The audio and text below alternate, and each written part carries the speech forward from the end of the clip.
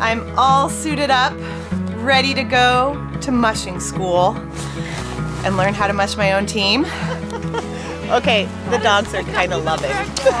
There is a couple different ways to stop the team, which is the most important thing because they love to run. They're going to want to just keep going. So the most important thing I can learn is how to stop. Yes. Okay, so that's going to be how you're going to slow down your dog team. Yeah. Perfect. If you imagine my hand as the dog's head here, Yes. um, you have this first opening. That's kind of the collar. So the dog's head's gonna go through there. That's not bad. Okay. Dusty, Freya, Tally. Got it.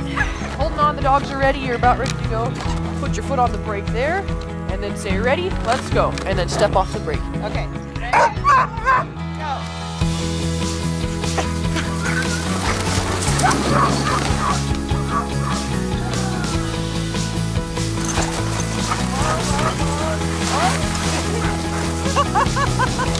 This is so much fun. it's exhilarating and completely different than riding in that sled. It is a lot like skiing when you're going around a corner. You just lean into the corner. How do you not topple over? You stay low, and then braking is also really useful for getting around corners.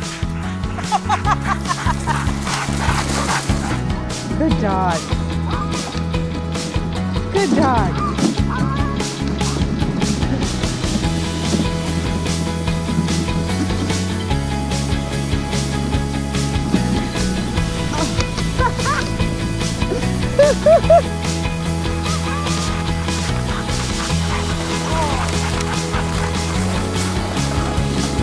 Now that the most fun you can have in Alaska in the winter.